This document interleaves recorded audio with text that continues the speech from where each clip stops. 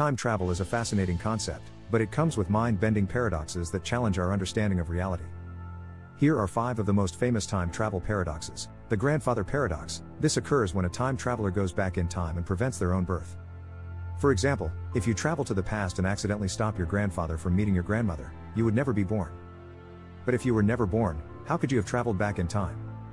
The bootstrap paradox, also known as the ontological paradox, this occurs when an object or piece of information has no clear point of origin. Imagine you travel back in time and give Shakespeare a book of his own plays before he writes them. He then copies them down and publishes them. But who originally wrote them? The predestination paradox. This paradox suggests that actions taken by a time traveler in the past were always meant to happen. If you try to stop an event, your actions might be the reason it occurs in the first place, making the timeline fixed. The parallel universe paradox. Some theories suggest that changing the past creates an alternate universe instead of altering your own timeline. This means you could prevent an event, but only in a separate reality. The butterfly effect. Small changes in the past can lead to massive, unpredictable consequences in the future. Stepping on an insect in the past might alter history in ways you could never imagine.